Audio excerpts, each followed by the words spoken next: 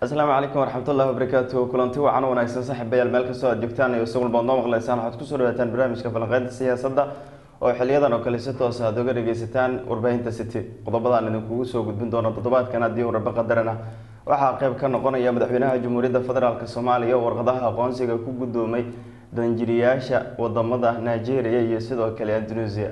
Qodobadeena kale waxaad ku dhageysan doontaan oon ku soo qaadan doono barnaamijka falanqeyntana ka mid noqonaya qorshaha ka bixitaanka ciidamada midooda africa ee amisom oo la shaaciyey iyo wasaaradda gaashaandhigga xukuumadda federaalk soomaaliya oo wada qorshihii ugu dambeeyay ee qaramada midoobay lagu horgeynayo heshiis ay wada gaaraan midooda africa iyo soomaaliya. Barnaamijka falanqeynta ayaad ku dhageysan doontaan oon idinkugu soo gudbin doona waxaa kalood maqli doontaan xeraalyaha guud ee koonfur galbeed soomaaliya ayaa toddobaadkan la magacaabay iyadoona madaxweynaha dowlad goboleedkaasi cabdicasiis xasan maxamed laftagareen warqadii ka soo baxday aan idinkugu soo gudbin doono barnaamijkeena falanqeynta siyaasadda. Waxaa kalood maqli doontaan oo aan idinkuga haynaa barnaamijka safiirka etoobiya ayaa isla magaalada baydhabo ee xarunta gobolka baay. Waxa uu kula kulmay madaxweynaha maamulkaasi koonfur galbeed cabdicasiis xasan maxamed laftagareen wararkii ugu dambeeyey dhinaca doorashooyinka dowlad goboleedka hiirshabelle sidoo kale degmada buulo burte iyo weerarkii ka dhacay oo lagu burburiyey qeybo ka mid a garoonka diyaaradaha ee degmadaasi ayaad ku dhageysan doontaan anigoo cumar guuxa ayaa barnaamijka alaba soo saara halkan idinkala socodsiiya dhanka kaamirada saaxiibka e arkay ayaa ka qaabeynaya. Waad ku mahadsan tahay daawashadaada inaad nagu soo biirto wax lacaga kaagama baxayso keliya waxaad u baahan tahay inaad falow saarto boggeenna facebook ama aad sabskraib dhahdo janaalkeenna youtube. Adigoo bartilmaamaydsanaya city somaali t v an rediyo la jaanqaad warbaahinteenna oo hel warar iyo barnaamijyo adiga kaa hadlaya waxaynu ku bilaabeynaa madaxweynaha jamhuuriyadda federaalk ah ee soomaaliya mudane maxamed cabdulaahi maxamed farmaajo. Oo warqadaha aqoonsiga ka guddoomay danjiriyaasha cusub ee waddamada nigeria iyo sidoo kale indonesia oo ka mid ah waddamada caalamka gaar ahaana waddamada africa haddaba madaxweynaha ayaa bila soomaaliya kula kulmay safiiradaasi oo ay ka wada hadleen labada dhinacba. Arrimo dhowr ah oo ay ka mid yihiin xaaladaha waddamada nigeria indonesia iyo soomaaliya iyo sidoo kale safiirada cusub ee wadamadaasi ee soomaaliya ay u soo magacaabeen sidii ay u gudan lahaayeen waajibaadkooda ka saaran ilaalinta madax banaanida soomaaliya iyo sidoo kale kobcinta dhaqaalaha. Kulanka markii uu soo gabagaboobay kadib cabdirashiid maxamed xaashi afhayeenka madaxtooyada jamhuuriyadda federaalk ah ee soomaaliya ayaa warbaahinta u soo bandhigay waxyaabaha ay ka wada hadleen labada dhinac ee madaxweyne farmaajo iyo safiirada cusub ee dowladaha nigeria iyo indonesia madaxweynaha jamhuuriyadda federaalka soomaaliya mudane maxamed cabdilaahi farmaajo ayaa maanta warqadaha aqoonsiga danjiranimo ka guddoomay safiirada cusub ee dalalka nigeria iyo indonesia oo ka mid ah dalalka iskaashi iyo xiriir qoto dheer oo taariikhi uu inagala dhexeeyo. Nigeria mudane yuusuf yunusa iyo indonesia mudane doctor maxamed heri sreborin madaxweynaha jamhuuriyadda iyo danjirayaasha cusub ayaa ugu horreynba ka wada hadlay sidii kor loogu qaadi lahaa xidhiidhka iskaashi iyo kan diblomaasiyadeed ee labageesoodka ah iyo ahamiyadda caalamiga ah ee soo kordhaysa taas oo mudnaanta siinaysa sidii laysaga kaashan lahaa dhinacyada amniga dhaqaalaha iyo horumarinta diblomaasiyadda. Dhankooda danjirayaasha cusub ee ku soo biiray safiirada ka howlgala dalkeenna iyo diblomaasiyiinta ayaa ugu horreynba ka mahad celiyey soo dhoweynta diiran ee ay kala kulmeen dowladda federaalka soomaaliya iyo shacabka soomaaliyeed iyaga oo bogaadiyey horumarka ay ku tallaabsatay dowladdu gaar ahaan dhinacyada horumarka iyo dubhabeynaha lagu sameeyey dhinaca amniga iyo dhaqaalaha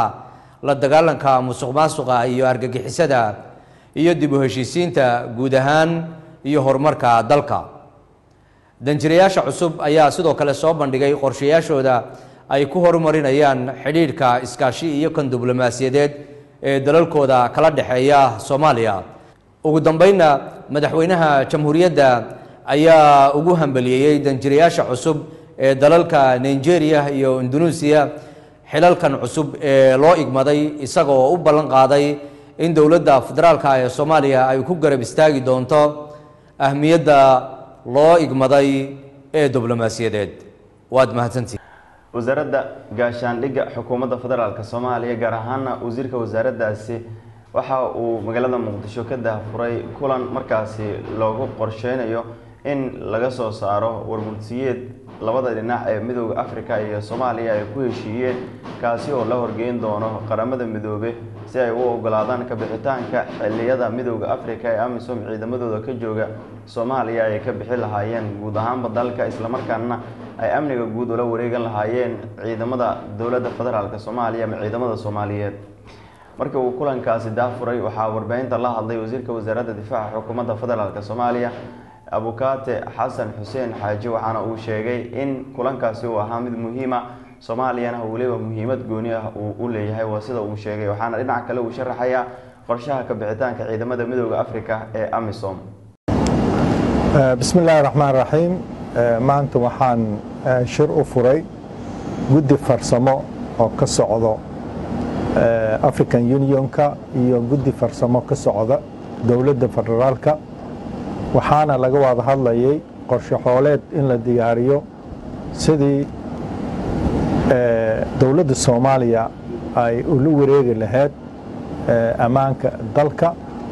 Waa sidaad la socoteen amisom iyo african union waxay joogeen soomaaliya muddo ka badan afar iyo toban sano. Muddadii looga talagalayna hadda waa dhammaan haysaa sanadkan waxaa laga hadlahayaa wixii ka dambeeyo ga qaabkii ay ku joogi lahaayeen dalka iyo sidii ula falgeli lahaayeen ciidamada soomaaliya iyo sidii dalka loo xoreyn lahaa. Hadda waxaa isbedelay rabaa qaab dhismeedkooda iyo howlgaladii waxaan diyaarinahaynaa marka qorshe hooleed loogu talagalay in guud ahaan ciidamada joogta soomaaliya oo amisom iyo ciidamada soomaaliya ay isla wada howlgalaan isla markaasna ciidamada soomaaliya ay qaataan mas'uuliyadda ugu sarrayso sidii dalka loo xoreyn lahaa wada shaqayntoodana loo wanaajin lahaa. Arrintaasna hadda meel fiican ay maraysa.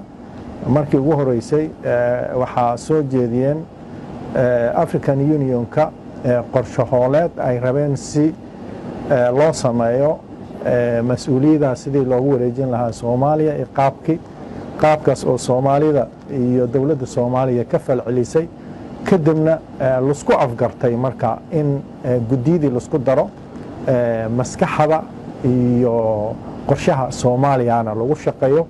Kadib wixii soomaaliya ay ogoshahay ijidkii uga habboon oo soomaaliya u arkayso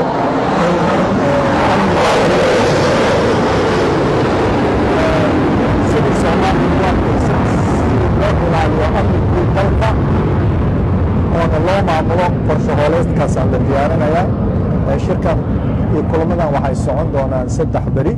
Saddexdaas berina marka waxaa lagu diyaarin doonaa qorshe hooleed dhammaystiran qorshahaas oo african union golaha ammaankana loo gudbin doono baydhabo markaan aan eegno cabdifitaax cabdulaahi waa safiirka etoobiya u fadhiya gudaha soomaaliya. Waxa uu magaalada baydhabo ee xarunta gobolka bay kula kulmay madaxweynaha dowlad goboleedkaasi cabdicasiis xasan maxamed laftagareen waxyaabaha ay ka wada hadleen waxaa ka mid ah arrimaha doorashooyinka iyo sidii koonfur galbeed soomaaliya iyo etoobiya iskaga kaashan lahaayeen xaaladaha bani-aadanimo oo inta badan ka dhaca deegaanada dowlad goboleedkaasi gaar ahaana gobolka baay oo xilliganba xaalad kale oo ka duwan tii hore ay ka taagan tahay taasi oo ah biyo la'aan iyo dadka xoolo dhaqatada ah oo qaarkood wajahaya xaalado adag.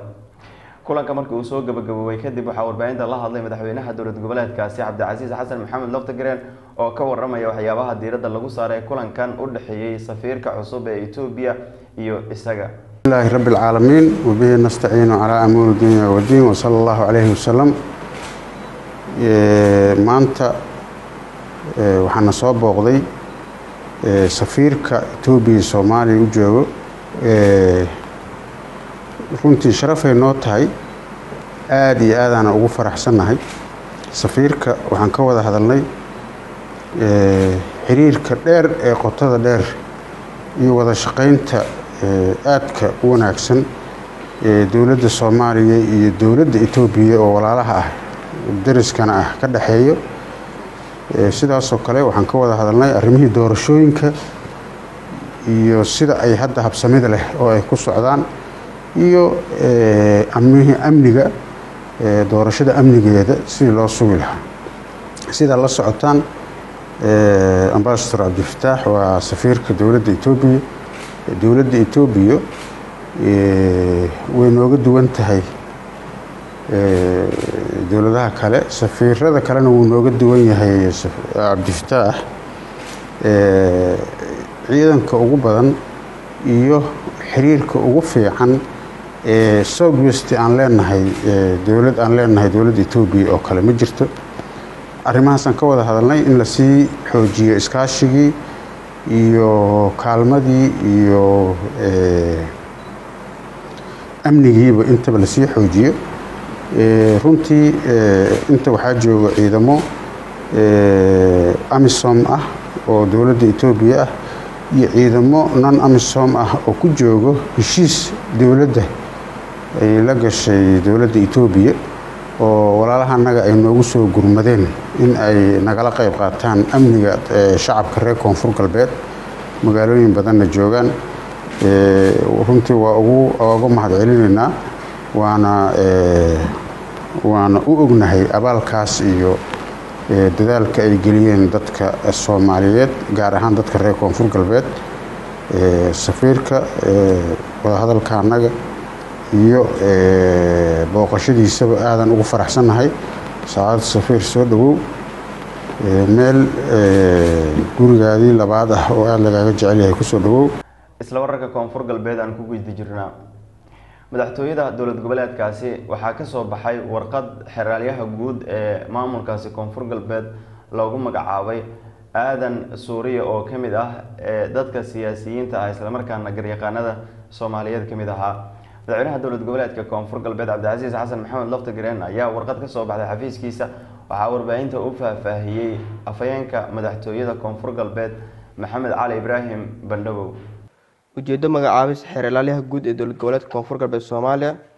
Xeer madaxweyne tiro nambarkeedu yahay eber eber konton iyo lix ko labaatanka sebtembar labada kun ko labaatan kuna saabsan magacaabis xeer ilaalyaha guud ee dowlad goboleedka koonfur galbeed soomaaliya madaxweynaha dowlad goboleedka koonfur galbeed soomaaliya markuu arkay dastuurka dowlad goboleedka koonfur galbeed soomaaliya qodobkiisii afartan iyo sideedaad farqadiisii koowaad qodobka konton iyo sideedaad farqadiisii koowaad xarafka a iyo qodobka toddobaatan iyo shanaad markuu tixgeliyey tala soo jeedinta wasiirka wasaaradda cadaaladda dowlad cadaaladda iyo garsoorka dowlad goboleedka koonfur galbeed soomaaliya markuu tixgeliyey aqoonta iyo waayo aragnimada mudanaha jegada soo socota loo magacaabayo wuxuu soo saaray xeerkan. Qodobka koowaad magacaabis xeer ilaalyaha guud. Laga bilaabo maanta taariikhdu ay ku beegan tahay ko iyo labaatanka sebtembar labada kun ko iyo labaatan. Wuxuu madaxweynaha dowlad goboleedka koonfur galbeed soomaaliya mudane cabdicasiis xasan maxamed nafdigaren uu u magacaabay xeer ilaalyaha guud ee dowlad goboleedka koonfur galbeed soomaaliya mudane aadan mukhtaar shuuriye inuu noqdo xeer ilaalyaha guud ee dowlad goboleedka koonfur galbeed. Qodobka labaad dhaqangalka xeerkan wuxuu dhaqangal noqon doonaa marka uu saxiix madaxweyne cabdicasiis xasan maxamed lafdigaren oo ah madaxweynaha koonfur galbeed soomaaliya uuna saxiixay toddobaadkan waxaa la soo saaray liiska musharaxiinta u tartamaya kuraasta aqalka sare ee baarlamaanka federaalk soomaaliya gaar ahaana gobollada waqooyi. Waxaa si wada jir ah ugu wareejiyey ra'iisul wasaaraha jamhuuriyadda soomaaliya ra'iisul wasaare ku-xigeenka dalka mudane mahdi maxamed guuleed khadar iyo gudoomiyaha aqalka sare ee baarlamaanka federaalk soomaaliya mudane cabdi xaashi cabdulaahi markii ay warqadahaasi wareejiyeen kadib waxaa warbaahinta la hadlay mahdi maxamed guuleed khadar ra'iisul wasaare ku-xigeenka dalka waxaana uu sharaxayaa sida ay u soo xuleen musharaxiinta iyo kuraasta inta ay gaarayaan ee lagu tartamayo iyo sidoo kale rajada ay ka muujinayaan doorashada gobollada waqooyi ee somalilan dowladda federaalk soomaaliya ku matali doona alxamdulilahi rabbilcaalamiin waxaa maanta oo ah koob iyo labaatanka sebtembar maalin laba kun iyo labaatan iyo kow maalin salaasa ah.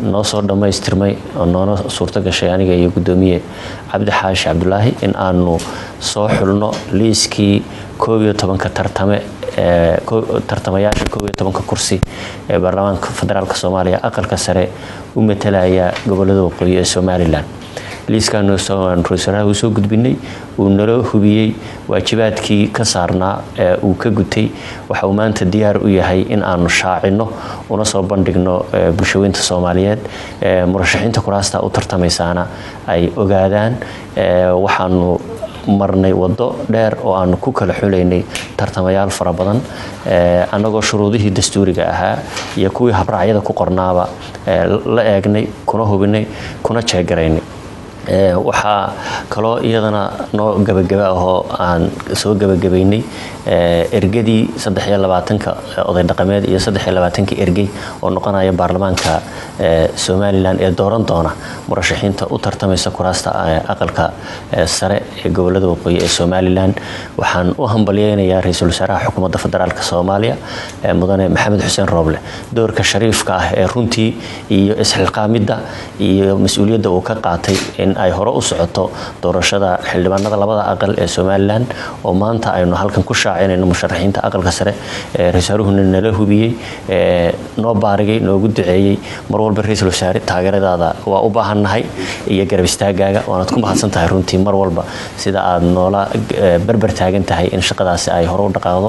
Intaasaan ku soo gabagabeynayaa odaytinimada gudoomiya cabdixaashi cabdulaahina waan hambalyeynayaa iyo dulqaadka uu muujiyey. Waxaa kaloon u hambalyeynaya doorka runtii gudoomiyaha maxkamadda sare uu geedi socodkan oo dhan uu ka qaatay. Intaasaan ku soo koobi doonaa markaan hirshabelle aan dib ugu soo laabano buuloburti waxay ka mid tahay degmooyinka gobolka hiiraan ee maamulka hirshabelle markii si loo fiiriyo waxaa halkaasi ka socday dhismooyin kala duwan oo markaasi garoonka diyaaradaha iyo qeyb nasiino ah oo dadka diyaaradaha ka raacaya garoonka degmada buuloburti ee xarunta amaba gobolka hiiraan ay ku nasan lahaayeen sidaasi oo kale kol hore ayaa iyadana sidan loo burburiyey oo weerar lagu qaaday.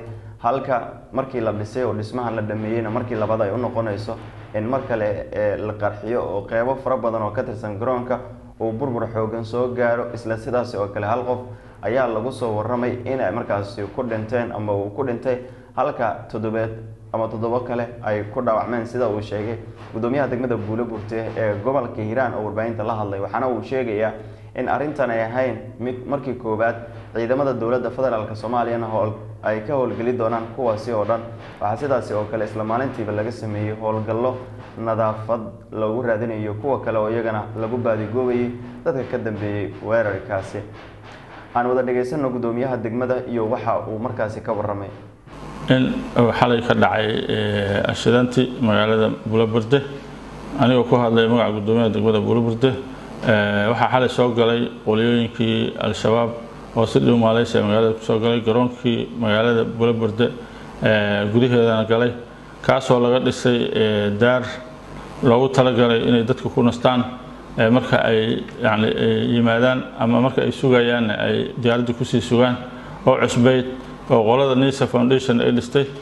Taasoo gabagabo ahayd oo dhammaatay la qalabeeyey xilwareejintii iyo yani xelagoyntii ay ka dhineyd marka arrintaas ayaa xalay dhacday. Meeshii waxay ku xireen bambooyin daartii way burburtay. Laamiyadii kore wada baaba-ay. Kuraastii taallay sidoo kale. Marka saakay aan ku baxnay matoor meesha yaalay oo hoostiisa ayagana ay waxgeliyeen ayaa waxaa dhacday in dadweynihii mid ka mid uu soo jiiday oo yidhaahdo matoorkan waa fiican malena oo fiiriyo markii la baaray garoonka oo diyaaraddiina la wada sugayay qarax baa meesha ka dhacay matoorka hoostiisa ku jiro culeyska matoorka uu dhaliyey qaraxii ayaa waxaa ku dhaawacmay shan qofood. Midkii soo jiiday ayaana ugu darnaa oo halis ah. Insha allahu dadaal dheeri baan sameynay. Haddana waxaan jecelnaha in xamar loo soo qaado. Dhaawacii markaas oo ku dhacay bulshada bulaberde dadaalkaasina ilaah baa noogu ilaah ku mahadsan insha allahu tacaala. Garoonkiina insha allah hadda kadib insha allah in la ilaaliyo oo ammaankiisa si fiican loo sugo ayaanu farnay bulshada ammaanka qoseeyey oo jabuutaanka u weyn yani u joogay meesha ciidanka jabuutiga oo subax kasta saakayna ku mashquulsanaa ayagoo baaritaankii dhameeyey markaas gudihiisana arrintan dhacday. Marka insha allah ilaahay waa hadiis ah insha allah ilaahay kuwa dhibaatada gaartayna allah ha bogsiiyo ku dhaawacmayna ilaahay caafimaad taama ha siiyo. Insha allahu ilaahay anagana toobada wanaagsan hana wada tuso insha allah iyo towfiiqda magaaladeena waxaan u jecelnahay mar walba inay noqoto magaalo amni ah wanaagsan. Markana aan eegno magaalada muqdisho ee caasimada dalka. Xarunta maxkamadda degmada boondheere ee gobolka banaadir ayaa toddobaadkan xarigga laga jaray iyadoona xarig jarka uu sameeyey gudoomiyaha racfaanka gobolka banaadir iyo gudoomiyaha maxkamadda gobolka banaadir. Waxaana gebi ahaantood ay si wadajira xarunta ay xarigga oga jareen iyadoona xarig jarkan ay ku welinayeen. Maamulka degmada boondheere iyo qaar ka mid ah odayaasha dhaqanka ururada bulshada rayidka ah ee degmada boondheere. Xarig jarka markii uu soo gabagaboobay kadib waxaa warbaahinta la hadlay gudoomiyaha racfaanka ee maxkamadda gobolka banaadir isagoona ka hadlay arrimo dhowr ah oo ay ka mid yihiin in maxkamadaha degmooyinka gobolka loo raadiyo xarimo u gooni ah oo iyagu ay leeyihiin. Waxaan rabaa arrintaanu sidii ay ku suurageli lahayd qof walba oo garsoorka ku jira iyo maamulka degmada boondheere iyo maamulka gobolka banaadir intaba waa laga wada qayb qaatay. Hogaaminta hawshan maanta aan u joogno guddoomiyuhu wax badan ayay waqti ku bixisay waa uga mahad celinaynaa odayaasha dhaqanka oo ay qaarkood da badan ka muuqato waxay ugu yimaadeen xafiiska iyagoo codsanaya in loo sameeyo maxkamadii degmada boondheere in loo furo waa uga mahad celinaynaa marka aan dib u noqdo guddoomiye baari reer boondheere waay. Horaan idinkugu sheegay iskuulkaan idinku dhegana mujamac mulqura aan ka baxay. Qaar ka mid a macallimiintaydii aan halkan kula kulmay maraan imiday. Marka reer boondheere xaq badan ay ugu leeyihiin waxaan se rajeynaya inaan u guday. Hadda kadibna aan intaa iinka badan ku ilaalin doono insha allah. Intaa kadib waxaan ka codsanayaa bulshada reer boondheere guud ahaan inay la shaqeeyaan guddoomiyaha cusub ee maxkamadda degmada. Xogayaha guud ee ururka qareennada soomaaliyeed daahir caraba wuxuu sheegay in ahmiyad gaar ay u leeyihiin wada shaqaynta hay'adaha kala duwan ee dowladda sidii loo gaari lahaa. Bulshadan reer boondheere loogu adeegi lahaa cid kasta waajibaadkeeda iyo shaqada ay qabanayso waa caddahay guddoomiyaha maamulka degmada iyo taliyaha saldhigga booliiska iyo taliyaha nabad sugidda degmada iyo guddoomiyaha maxkamadda intaba cid walba waajibaadkeeda sharcigaa tilmaamayo hase ahaatee waxa laga wada shaqeynayo waa wax guud oo bulshada deegaanka dan u ah. Waxayna ku wanaagsan tahay in loo wada shaqeeyo si is-ogol ah oo walaaltinimo ah iyo ismaqal ah. Maadaama aysan jirin cid cid u hoos tagta shaqada ay qabanayso oo cid walba ay u hoos tegayso shaqadeeda madaxda ka sarreyso. Tusaale ahaan guddoomiyaha maamulka degmada guddoomiye saynab shaqadeeda iyo qaabkay u qabanaysa waxay u hoos tagtaa guddoomiye cumar filish. Taliyaha saldhigga booliiska degmadu wuxuu hoos tagaa taliyaha qeybta guud ee booliiska gobolka banaadir oo ugu sii sarreeya taliya xijaar guddoomiyaha maxkamaddu sidaas oo kale wuxuu hoos tagaa maxkamadda racfaanka gobolka banaadir sidaas oo kale taliyaha nabad sugidduna wuxuu hoos tagaa taliyaha nabad sugidda gobolka sidaasay u caddahay xeerka iyo sharciga iyo wada shaqayntu halkaasay ka caddahay hase ahaatee waxa loo shaqaynayo waa bulshadii deegaankan waa in lagu wada shaqeeyaa isfaham wax isla meeldhigid is-ogolaasho iyo walaaltinimo in lagu wada shaqeeyo mabda'a guudoo la raba in la hirgeliyo waxa waaye bulshadan deegaanka in loo wada adeego. Marka haddii aan dadku aysan midaysneyn isla markaana aysan ahdaaftoodu meel u wada jeedin waxaa imaan doona dib u dhac fara badan. Marka si taa looga fogaado waxaan rajeynayaa insha allah inay wada shaqayn doonaan hadduu alla idmo. Sidoo kale waxaan rabaa inaan codsi gaar ah u gudbiyo qolada biis committeega ah iyo odayaasha dhaqanka iyo ururka haweenka inay la shaqeeyaan sidii ay u fududeeyaan inay maxkamaddu shaqadeeda gudato. Markana puntland haddii aynu eegnana madaxweyne ku-xigeenka dowlad goboleedkaasi axmed celbi cusmaan karaash maalmihii ugu dambeeyey waxa uu dhagaxdhig ka waday deegaano ka tirsan dowlad goboleedkaasi gaar ahaana gobolka nugaal waxa uu dhagax dhigay toddobaadkan gudihiisa ilaa iyo meer dhowlood waa dhowr meelood oo markaasi ay ku jirto afartan kilomitr waddo gaaraysa islamarkaana xiriirisa magaalooyinka laascaanood iyo sidoo kale garowe oo ka tirsan maamulkaasi puntland. Warbaahinta ayuu la hadlay waxaana dhammaanba shabakadaha ka qeyb qaadanaya dhismaha wadooyinkan uu faray inay gutaan waajibaadkooda hase yeeshee mashruuc ama lacagaha lagu dhisay wadooyinkan ama gaar ahaan wadadan afartanka kilomitr ah ay bixinayso maamulkaasi puntland. Isugu nimi. Waa farxad ay tahay inaynu dhagax dhigno. Wadada tan garowe falleedhyaale waxaa waa wiiggii kaabayaasha dhaqaalaha iyo waddooyinka sidii hore loo sheegay way socotaa waa badnaan doontaa. Waxaanu soo bilownay waxaanu ka soo bilownay wiigganba waxaanu ku ka shaqaynaynay. Ilaa maxay tahay burtinle tan kaleo garoowe birta dheer eh, garoowe sinujiif eh, eh, maanta waa halakan marka inta aanu soo wareegaynay qaar baa qaar baa kuwan wax qorqoraa waxay lahayn war madaxweyne ku xigeen. War goormaad halkan eegeysaa oo xaggaa eegeysaa war maad tagta waa mar baan siri waa de waanan anigu ma maqleen ma gabaydaa i doorsal fududaa wuxuu sugayo mu- muu dhowro. Waa soo sidnaa xeeryihii saabka loo tolay. Marka war waa soo soconnay meeshani muhiimadda ugu weyn bay noo tahay inaanu maxay tahay wax ka qabanno. Eh, waxaanu sida aanu laydiin sheegay. Eh, waxaanu wax ka qabanaynaa.